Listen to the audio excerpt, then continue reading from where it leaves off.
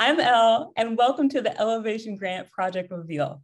The Elevation Grant is all about giving creatives of color the opportunity to take a risk in the outdoors. So I thank Marmot and our host of kind sponsors to help me make this happen. So with that, I want to introduce one of the incredible recipients, Jade Begay, who's of the Dene and Tesuque Pueblo. She is an Indigenous rights and climate policy expert, organizer, and filmmaker. All right, Jade, welcome. Thanks, Al. Tell me a little bit more. You got to give the audience a little bit more about who you are.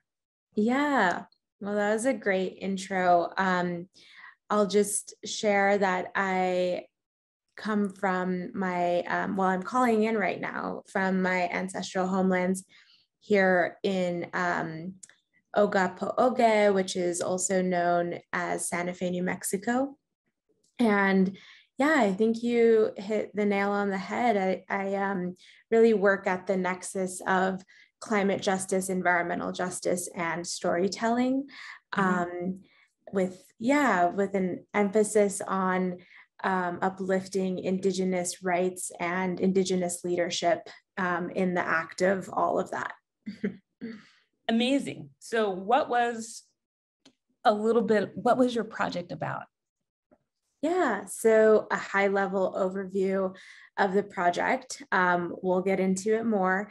Um, this project is about the Athabascan people, um, which I will continue to refer to as the Na-Dene, which you know is a term that Indigenous peoples um, who who are Athabascan use.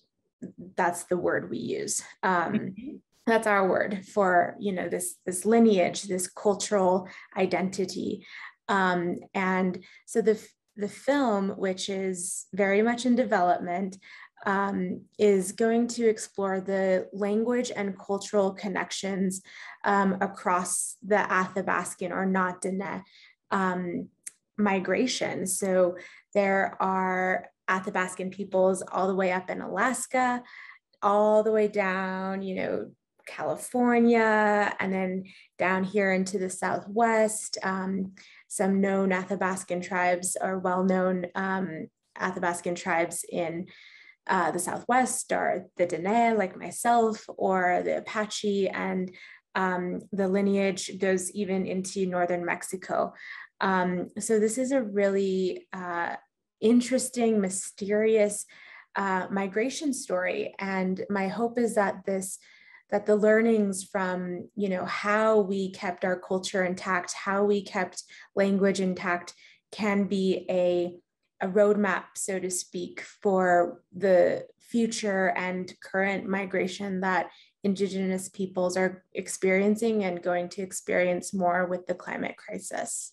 One of the things that struck us about Jade when we were interviewing and going through the host of people who were applying was Jade's proposal. I think from a team of, as we were going through it, it just the project really stood out. It was very different. As Jade is someone who's a filmmaker, it was about migration and integrates adventure, and it like just harks back to so many things that seem interconnected that we thought was really beautiful. And so I'm so curious about your path and how you got into wanting to tell these types of stories. So um, I grew up with artists. Both my parents are artists in wow um, metal arts and sculpture and pottery. And my mom was also a museum cu- curator at different points in her life. Um, and so I grew up with, um, yeah, really incredible exposure to Native and Indigenous um, arts and culture from a young age. Um, and then, you know, I, I also grew up uh, very traditional in my community. Um, meaning that I, I grew up uh, in, in very close proximity to my language, my culture, and our, our way of life, our ceremonies. Um, and over the course of even just my adolescence into young adulthood, I started to acknowledge the changes in my homelands. Um, for instance, we have or we had a river run through our community where we would go to that water for our ceremonies, and um, mm-hmm. today that river no longer runs. Um, wow. And so these these um, you know kind of flags of seeing the changes in our environment um, and then also just being hyper aware of you know radical native messages and um, and the things that were going on in in native or indian country um, with with culture and narrative um, that really gave me a boost um, to work at this nexus of film and, and narrative shift and culture shift and, and then also um, yeah going into you know the advocacy part the part that you know lands our rights and our, our fights into into policy and law. Let's get to your project. What was the inspiration? I know this is not finished this is part of something that's ongoing for you.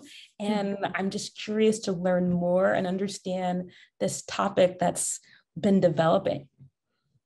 Yeah. So the inspiration comes really from a childhood curiosity that was sparked because um, I was from a young age told stories by my grandpa that we were related to people in the north um, in northern territories uh, like um, Fort Chipewyan, Canada, uh, or so-called Canada, and um, Alaska, and I've always just wanted to know more. And you know, in my in my work um, as a climate justice organizer, um, I've I've been to all these places.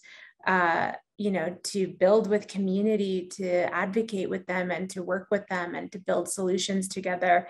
And when i go to these places um, they would they would also you know chime in with their stories and say well you're my you're my cousin and you know they would um, share with me uh, words from their athabascan language that sounded just like my some of the words in my Athabascan language, which is Dene. And so, you know, as, as through my life, I've just heard about these connections. They've there's been a lot of oral storytelling, and I've tried to go to look for more.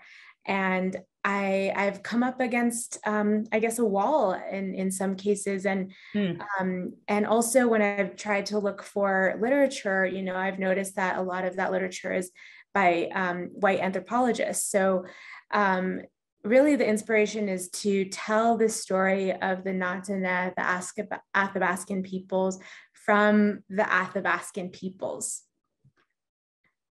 I think that's incredibly powerful and incredibly needed. I think so often we're not the ones who get to tell our own stories and our own narratives. And so I'm stoked to see um, how your project is coming together and and to to see more.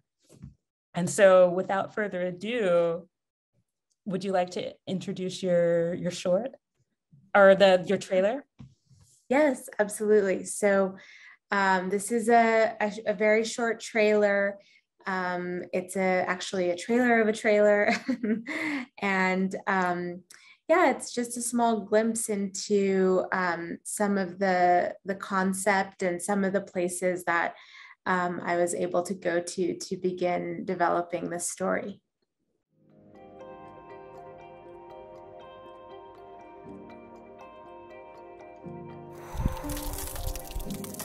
As climate change continues to reshape our communities and landscapes pray we listen well to the changes in the wind, the story of the Na-Dene or Athabascan migration is a history lesson for our future.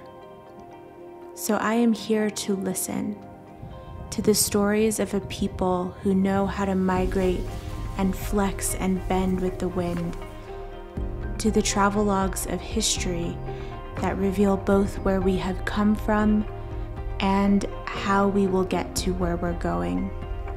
This journey is about listening to the stories of Na Dene as prophecy.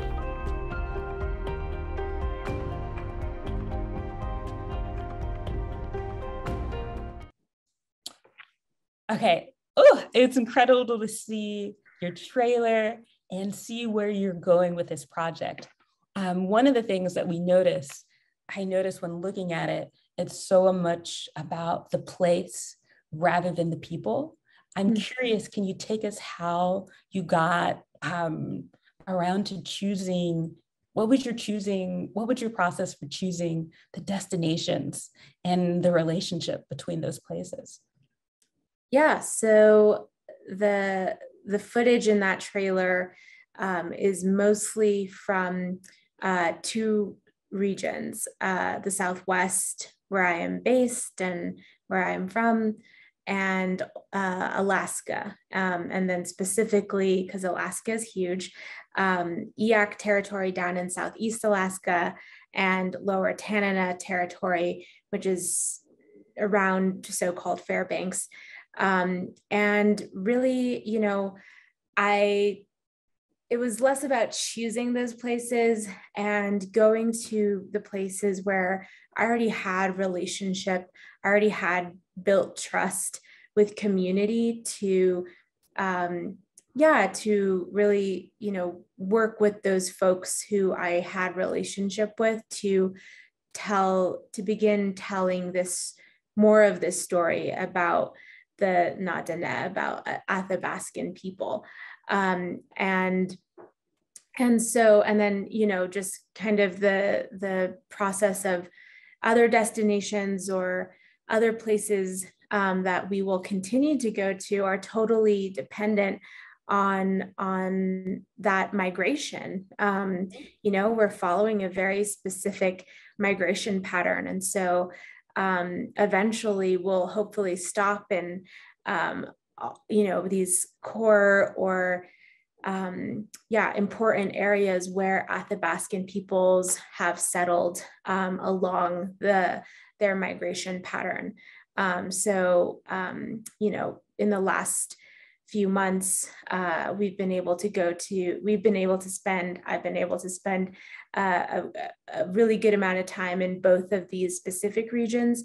But the, the idea is to get, you know, again, to those, um, those important spots where Athabascan peoples are. Yeah, I think going from there, I think one of the things that people are probably wondering is for the trailer, um, why the focus on the land versus interviewing people. I'm just curious if you can just speak a little bit why that it was so important to to show place. Well, um, you know, to be really transparent, um, the stories with people are very much still coming together. Um, I'll I'll just share that a lot of these stories um, around migration, um, around you know our people, where we come from, they can only be told in the winter. Um, and so we had a good amount of time this past winter to get into in a, into a, a few um, interviews, but we we need more and um, we have to wait till next winter to get into more interviews. Um, and this is a cultural thing. So, you know, uh, I'm, I'm respecting the culture of our peoples and of various communities um, and their and their cycle of telling story. Um, so yeah, the the focus of place and land in this trailer um, is is to show where we're going um, where we've been and like the expanse of of this migration um, it's it's even hard to share in just 30 seconds so or a minute however long it is. So you know we're to get into that more um, you know the longer piece will definitely be more interactive with visuals of maps and graphics showing just like how big this migration is. Um, but hopefully you know showing these these places and the land um, gives people the sense of of the expanse and the vastness of of this um, Athabascan migration, this Na-Dene migration. Um, amazing. And so I think that's really interesting. And just so people know that um, this grant just is helping you, it's part of a bigger picture. And so, and that this is something that you're going to continue to work on. And it's really interesting. That's something I truly did not know about being able to tell story in the winter. Um, just for out of just curiosity, is that because is that the time when people feel the most settled because they're not able, they don't have to do so much to prepare for winter. And so they're just, is there like, does that have to do with it? Yeah, absolutely. That's a really good guess. Um, and and you're right. Yeah. So you know, in many indigenous cultures, uh, we're really busy and active. Summertime is like a ceremonial time, and um, and then fall is all about the harvest. And so winter is really a time to rest and reflect and share lessons. Um, and so uh, naturally um, in lots of cultures, not all, um, winter is is the time to share story. This has been an interesting grant period. All different things are happening in the world and to us personally and like creatively. I was curious um, with this doing this project. What were some of the your challenges or the hurdles? Yeah, yeah. So I think just for any film project where you're going into rural indigenous communities, um, you're faced with the challenge of the pandemic. And so, yeah, of course, there were delays and setbacks and um, I even, you know, had to cancel one of my trips to Alaska in December uh, because the booster like had a really intense impact on me. So yeah, all this unforeseen stuff that comes just from like our circumstances right now. Um, and I and I think you know we're yeah we're all just rolling with the punches, and I'm I'm so grateful to um, yeah, the the grant and you all, the team I've been working with, just for the adaptability, the flexibility. I think we've all gained that muscle over the last two or however many years. Um, but I think more, you know, regarding the narrative, the story, this is a deep, deep, deep story. Um, this migration, you know, goes back thousands and thousands of years. And there's even some tension around um, around the migration itself. You know, um, my people, Dene people in the Southwest, we have a really incredible creation story that means a lot to us. And so, and it and it talks about how we came up from this place that we're very much rooted in this place right here and you know within these four sacred mountains that i'm currently within and so to talk about this migration in kind of more scientific terms even kind of rubs up against you know some of our creation stories that were mm-hmm. really um, that we really identify with so um, with with the more traditional, more um, kind of ceremonial folks that I've been able to meet and talk with you know there's there's a little bit of well it's a lot of trust building. It's a lot of trust building to get to that point of like okay yes we have our creation stories and something happened. Something happened where our people went up or they came down or something. So let's talk about that. And um, and it just yeah it it it's a process of trust building. It's a process of relationship building and i'm happy to do it. I'm like here for that. Um, but it, it is a challenge and it just takes time. I think that's really um, important and interesting to take a moment and talk about. I think um, as creatives i think some people see the end result. They didn't realize how long it even took just to get to the production. Uh, sometimes it just takes a lot of trust just to get there. Um, and you see like this amazing thing that could, you know, could be someone's life's work or uh, generations of work. um, to even have that. And so thank you for um, illuminating that. And so. Oh, yeah. I mean, this project could easily be like a PhD dissertation. um, and so, you know, just acknowledging that and giving myself that grace and also allowing myself to not rush it. Um, you know, I think for so many uh, reasons in this world, in this society, we want to see an end result. We want to see, you know, the the content move through the festivals and have that moment. But I'm really leaning into um, this story is deep and it deserves time. Uh, I think that's fantastic, and um, hopefully this grant has been able to to help with that process. And one of the things I'm so curious because we knew so many, we had so many applicants. And so there's so many interesting, interesting things how people applied. But one of those things is like, you know, when you get a pool of money or things change, the world is changing. Like um, sometimes you may not be able to do all that you're wanting to do. Sometimes you realize that there you can only do this much. And so one of those things I'd be curious to talk about is how your project kind of evolved during the period. Um, if you're if you're open to sharing. Yeah, of course.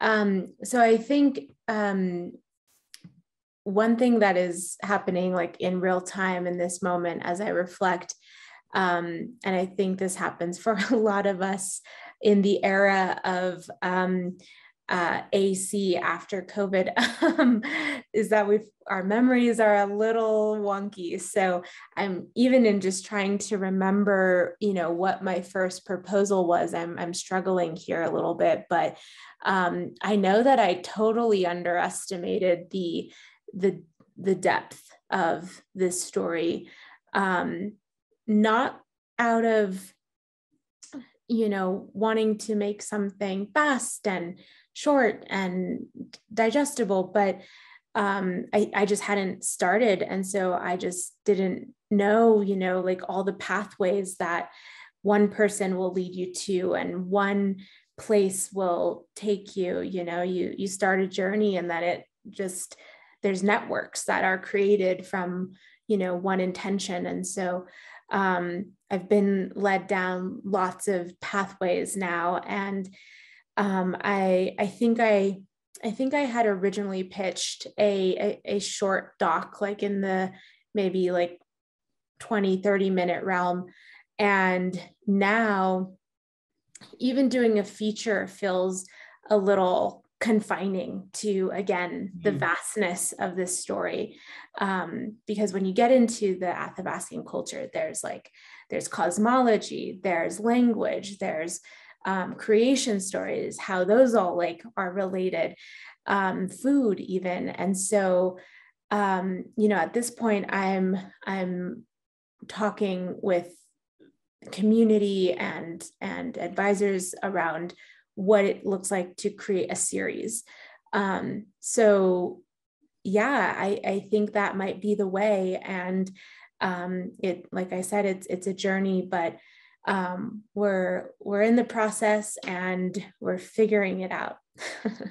That's so interesting, and I think that gets to something. I think sometimes as creative, um, you kind of really touched on it that like you didn't you knew the depth of the project, but until you kind of really get in there, it's way more vast than you can than sometimes we can conceptualize. Did that ever make you nervous that you're feeling like you really may not be able, or like not that you may not be able? Did that ever make you nervous that like that that depth and breadth of it? Did it make you nervous to kind of take that on or feel as though you can take that on? Well i mean i'm not taking this on alone. Um and so i guess like yes there was a moment where i was like oh man like there is so much here and we are going to have to build um so many different relationships to really share, you know, the full um, the full story, and also acknowledging that um, film is not the only medium that um, this story is going to exist in or live through. Um, you know, even I mentioned this earlier, but there's um, you know there's a lack of Native Indigenous led written content on this. There's a lack of audio content on this topic this story so how can we even you know once we get through the film portion and we're able to create you know these um the series or this episodic journey you know what does it then look like to create audio archives from interviews so that indigenous folks um, can access those? And it's how can we make that open source? Because um, those are archives that are really important to who we are and learning more about our identity. Um, you know it's it's it's way more than just a story. It's like we're, we're talking about um, a migration that led to people existing in other places in the world. And so this is very important information for our our yeah who who we are where we come from. Um, and so uh, from like an um, ethnographic kind of perspective realizing the importance of these pieces and this material. I think that's really um, thank you for sharing that. And then i think the only thing i um, if you could touch on a little bit is um, uh, I think so much there's a lot of erasure and how we move and how that can relate to adventure or sport. And I think in your proposal, that was also, you kind of like really beautifully interweave that. And like, is that going to be a part of the next chapter or, um, or part of what we see about I think there's, I don't know, I think there's just a lot of erasure in how people move and how, and how indigenous people are kind of the athletes of our, of, of the time. And so um, if you, if there's anything you'd like to share. Yeah, well, you know, there's definitely, um, I mean, you know, we to explore some of these lands, um, you know i was on i was on and to a- access certain places to get footage you know we i was on skis um, and i was yeah absolutely you know on an adventure trekking through um, places in alaska and here in my homelands. Um, and so uh, that was present. That was just a, a, like the the means of and i think that's true for so many um so many adventure storytellers is that you know it lucky for luckily for us we get to yeah use our sport or use our um our adventure modality, whether that be skiing or mm-hmm. hiking or biking, um, to get to the place to that is a part of the story. And that was certainly true for me. Ah, amazing.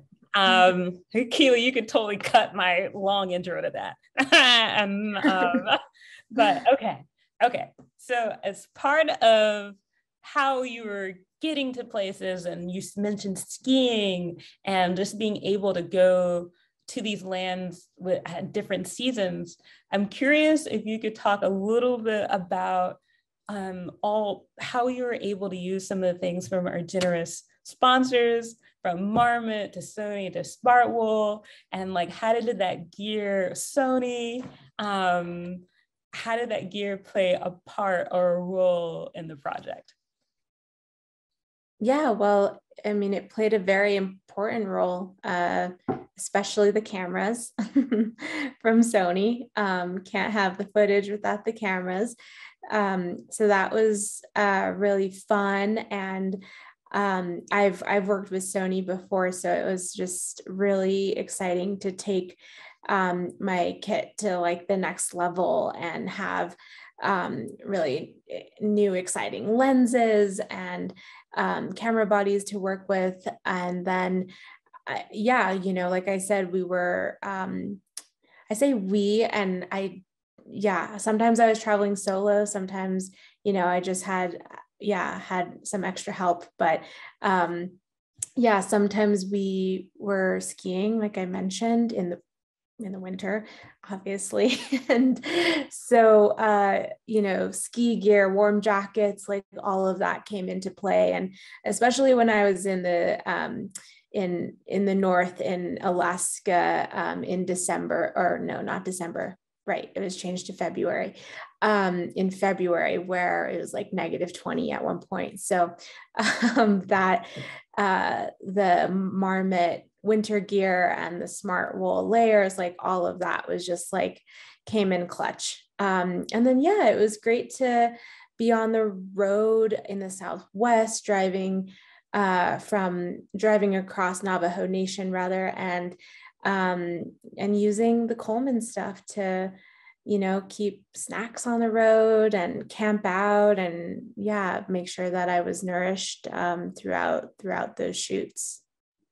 Jade, we're going to wrap up here. And so we're just going to start to wrap up. Thank you so much for illuminating what you've been doing. And I think one other one other big thing you can illuminate is what advice would you give to other aspiring um, BIPOC creatives of color that are looking to pursue a career in outdoor film? Yeah. Um, I mean, it's it's it's hard to say just kind of blanket statements. So mm-hmm. I think one thing I can just say and offer is just you know finding community to um, navigate this space. You know, there's some really great efforts like this one to um, to bring more inclusivity or to decolonize, you know, the outdoor space. Um, but there's, you know, there's a long way to go. And um, I think finding peers who you can bounce questions off of, who are navigating challenges, um, uh, or who may have navigated challenges that you're experiencing or might experience um, it I've I've just found it really helpful to have that peer support. Um, and yeah, even negotiating budgets or negotiating, you know, um, how content is used, and especially like this type of content where it's so important to community, it's so important to mm-hmm. cultural identity. It's really important to have clear, um, you know, clear. Uh, boundaries and clear expectations around how that content is used. And so, um, yeah, just in protecting yourself and protecting your community and your values, um, it's it's really good to have peers and mentors. Fantastic, and thank you so much for sharing that. And I'm, for me, I just want to tell everyone that their point of view and where their story is worthwhile. Don't let anyone ever think that your story and that you can't tell a story that you're close to. Like, even if you may not have all the gear in the world, you may not need it. You may not need it to, sometimes people can have the most gear and tell the worst stories. And so, never be afraid to get started and know that you have a place in this industry and that, you know, your work should be illuminated. And so, um, and so thank you so much Jade, for telling about your project and about your story. And as a final question, I'm just so curious what's next in your journey? Yeah, so we're just going to keep building, keep developing.